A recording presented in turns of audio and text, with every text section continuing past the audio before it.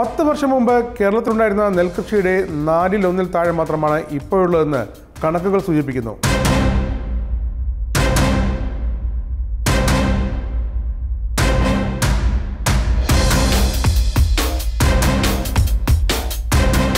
നൂറ്റിയേഴ് കോടി രൂപയുടെ നഷ്ടമാണ് ഇതുവരെ കുട്ടനാട്ടെ കർഷകർക്കുണ്ടായത്.